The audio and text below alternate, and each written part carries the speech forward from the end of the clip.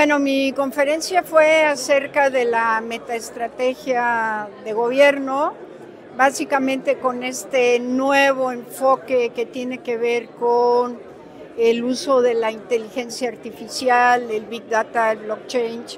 y toda esta nueva parte de los dobles digitales para poder generar gabinetes virtuales que nos permitan a través de esos gabinetes eh, virtuales generar una serie de decisiones de política pública, a veces incluso de cómo atacar problemas como el tema del agua o temas de cultura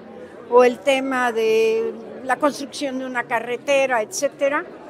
que ya es parte de lo que no solo ChatGPT te está dando, sino te está dando toda la gama de herramientas que tienes ya con la, con la inteligencia artificial. Los veo a cada estado que voy en el país, veo posta, entonces dije, ya extendieron